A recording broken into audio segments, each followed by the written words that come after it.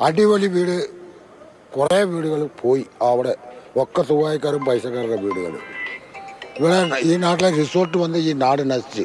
പത്ത് നൂറ് റിസോർട്ട് ഉണ്ട് റിസോർട്ടൊക്കെ ഉണ്ടോ? ഒരു അമ്പതെണ്ണം ഇവിടെ ഒരു പത്ത് ഏക്കർ ഉണ്ട്. അതിൽ നൂ ഇരുപതാൾക്ക് റിസോർട്ട് ഉണ്ട്. അതിലെ പോയാൽ അവിടെ ഉണ്ട് പത്ത് മുപ്പത് റിസോർട്ട് വന്ന് ഈ നാട് നാശായി. നമുക്ക് അത്ര പറയാൻ പറ്റുള്ളൂ. നമ്മൾ പണിക്ക് പോയി ജീവിക്കൂ എസ്റ്റേറ്റിലും പിരിച്ചു വിട്ട് ആഴ്ചയിൽ ഒന്നോ രണ്ടോ ദിവസം ഏലക്കാട്ടിക്ക് പണിക്ക് പോകും ഇവിടെ. ഈ മലയൊക്കെ ഏലത്തോട്ടം മോഹൻലാലിന്റെ എസ്റ്റേറ്റ് ആദ്യമായിരുന്നു ഇപ്പം വേറെ ആളാണ് നടത്തുന്നത്. വനറാണിയല്ലേ? ആ.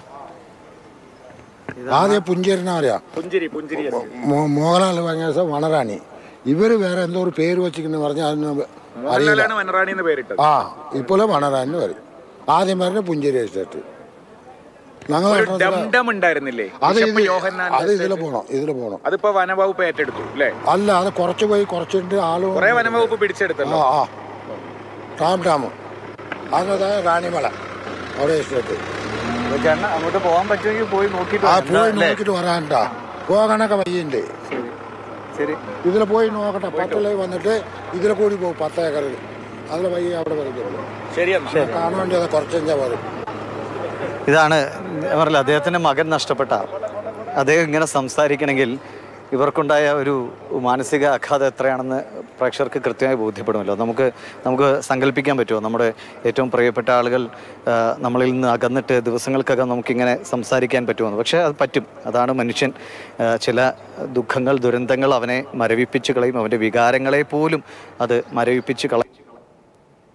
കർപ്പയ്യ എന്ന ചേട്ടൻ അദ്ദേഹത്തിന്റെ കൂട്ടുകാരൻ രാമസ്വാമി അദ്ദേഹമാണ് നമ്മളോട് ഇരുപത്തിയൊൻപതാം തീയതി സംസാരം നമുക്കത് കേട്ടിരിക്കുമ്പോൾ അക്ഷയ അക്ഷയ ശ്രദ്ധിച്ചാണെന്ന് ഞാൻ വിചാരിക്കുന്നു. ഒരാൾ നമ്മളിൽ നിന്ന് നഷ്ടപ്പെട്ടു പോയ ഒരാളെ കുറിച്ചാണ് രാമസ്വാമി എന്ന ആളെ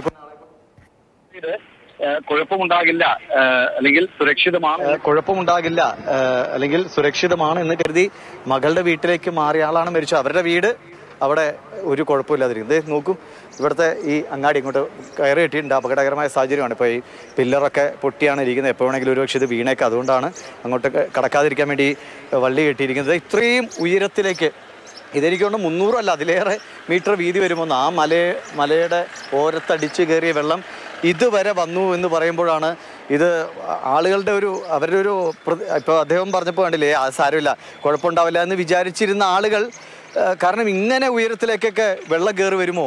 മല കയറി വരും. ഇത് മല കയറി വന്ന പോലെയാണ്. വെള്ളമല്ല സത്യത്തിൽ ഒരു മല അപ്പാടെ ഇങ്ങ് ആളുകളെ എടുത്തുകൊണ്ട് കയറി പോയതുപോലെയാണ് അത്രയ്ക്കും ഭീകരമായ സ്ഥിതിയാണ്. ഇപ്പോൾ അദ്ദേഹത്തോടൊക്കെ നമ്മൾ എന്താ പറയുക കേട്ട് നിൽക്കാന്നല്ലാതെ ആശ്വസിപ്പിക്കാൻ പോലും സത്യത്തിൽ നമുക്കൊരു വാക്കുകളുമില്ല നമ്മൾ എന്ത് പറഞ്ഞ് ആശ്വസിപ്പിക്കുക? അപ്പോൾ എല്ലാം ശരിയാവട്ടെ. അവർ അവർക്ക് തിരിച്ചു വരാൻ കഴിയട്ടെ എന്ന് അല്ലേ? അവരോട് അങ്ങനെ ഒരു ആശ്വാസമൊക്കെ പറയാം എന്നതിലുപരി നമുക്കൊന്നും ചെയ്യാൻ കഴിയില്ല. പക്ഷേ അതിനൊരു സംവിധാനങ്ങൾ ഒരുങ്ങുക എന്നാണ്. ഇപ്പോൾ അദ്ദേഹവും അദ്ദേഹത്തിന്റെ വീടിനൊന്നും ഒന്നും സംഭവിച്ചില്ല. പക്ഷേ മകൻ നഷ്ടപ്പെട്ടു. മകന്റെ വീടൊക്കെ സുരക്ഷിതമാണെന്ന് കരുതിയ സ്ഥലമാണ്. അവിടെ നിന്നും പോയി. ഇതാ ഇത്രയും ഇത്രയും ചുറ്റളവിൽ എനിക്കുണ്ട് ഇനി വളരെ കുറച്ച് ദൂരമുള്ളൂ ഈ പൊട്ടൽ തുടങ്ങിയ ഭാഗത്തേക്ക് ആ കാണുന്ന ആളുകൾ ആ നടന്നു പോകുന്ന വഴിയിൽ അല്ലേ കമലേട്ടാ? അവിടെ നിന്ന് കുറച്ച് അല്ലേ? പക്ഷെ അതിലെയാണ് ഞാൻ പോയ വഴി അതാണ്. അന്ന് തലേന്ന് പോയ വഴി അതിലെ പോയിട്ടാണ് ആ പാലം. നമുക്ക് കുറച്ച് കഴിഞ്ഞാൽ അങ്ങോട്ട് പോവാം. ഇതിൽ ആ. റോഡിനെ പോയി. ഇപ്പൊ ആ ചേട്ടൻ പോയില്ലേ? അതിലെയാണ് പോകുന്നത് അപ്പം നമുക്ക് ഇത്തിരി കഴിഞ്ഞ് അങ്ങോട്ട് പോവാം. അതായത് പ്രഷർ ശ്രദ്ധയ്ക്ക് നമ്മൾ ഇരു തലേന്ന് ഈ ദുരന്തത്തിന്റെ തലേന്ന് കമലേട്ടൻ പ്രതികരണം എടുത്തതും അല്ലെങ്കിൽ ചിത്രീകരിച്ചുമായ പാലം ആ ഭാഗത്താട്ടോ ആ വഴി പോകുന്ന ഭാഗത്ത്. അവിടെ നിന്ന് നമ്മളോട് സംസാരിച്ച ആളാണ്. ഇന്നില്ല ഈ ദുരന്തത്തിൽ നമ്മളോട് നഷ്ടപ്പെട്ടു പോയെന്ന് അദ്ദേഹത്തിന്റെ സുഹൃത്തും അയൽവാസിയും ഒക്കെ ആയ ആൾ നമ്മളോട് പറഞ്ഞപ്പോൾ എല്ലാവർക്കും പെട്ടെന്ന് ഇതിൽ നിന്ന് എന്താ പറയുക വിമുക്തി നേടാൻ കഴിയട്ടെ ഈ ഒരു മരവിപ്പ് അവർക്കൊരു അതൊരു ഇനി അടുത്ത ഘട്ടം അതൊരു ധൈര്യമായി മാറട്ടെ എന്നാണ് ഞാൻ ആഗ്രഹിക്കുന്നത്. കാരണം